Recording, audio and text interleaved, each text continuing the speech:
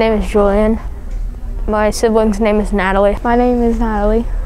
Let's see. Uh, what I have one sibling and his name is Julian. do you have any? My name is Celia. My brother's Oliver. Yeah. My name is Oliver. My sister's name is Celia. My name is Gain. I am in eighth grade. My sibling is Campbell. My name's Campbell. I'm in sixth grade. My sibling's name is Gain. My name is Peyton. My siblings are Josie and Sam. My name is Samantha. One of my sisters' name is Josie and the other one is Peyton. My name is Emery. What? His name is Jack. I have one class with her that is math, and we help out each other with our homework.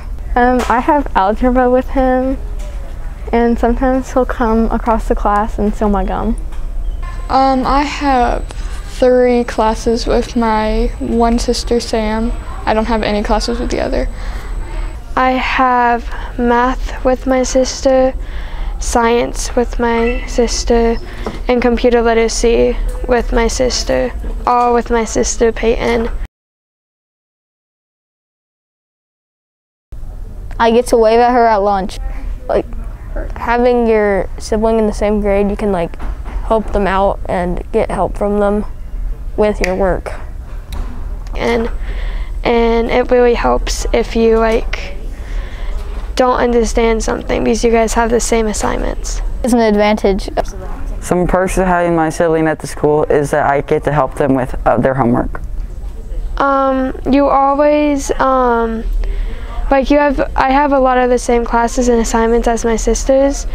So I like if I miss a day, I know what I missed. Also, I get filled in on what's going on in other classes. Yes, very annoying. Almost definitely.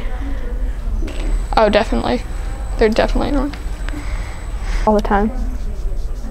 Yes. Yeah. He's sometimes annoying. Yes, they are sometimes annoying. Yes. My sister is sometimes very annoying.